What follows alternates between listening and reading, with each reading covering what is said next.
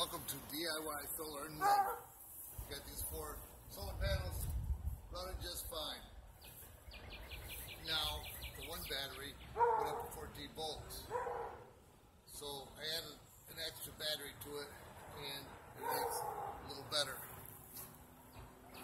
Today I get home from work and it's at 14 volts. I plugged it into the computer, plugged the computer in to the off-grid batteries. There's now two batteries. So, uh, everything's good to go. But will run long enough for the big computer. I'm to now put the third battery on there.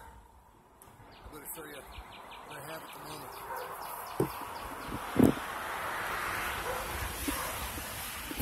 It's a little noisy out here. And I did not turn on lights. So now I have two batteries and a big off-grid inverter. It's huge. It's the Jupiter. I was going to use that for the garage. This charge controller right here apparently isn't that great. It let the batteries go over 14 volts. It's supposed to shut off the solar power, but maybe it's supposed to be 14.5. I don't know it might get changed out this next week. But uh,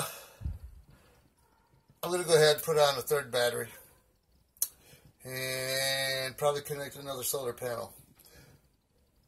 Going off grid, one solar panel at a time.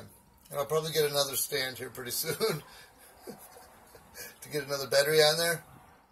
Yeah, so go ahead, click down below if you want to see all the rest of my videos.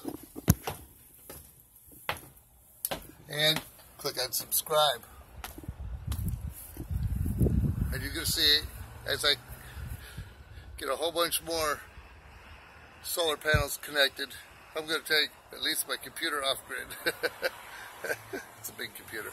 So uh, click on subscribe and then click the little bell and you will see all of my upcoming videos for taking my house off grid. See ya.